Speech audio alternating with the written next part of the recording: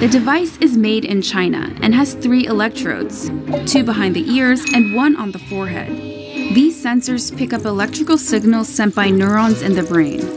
The neural data is then sent in real time to the teacher's computer.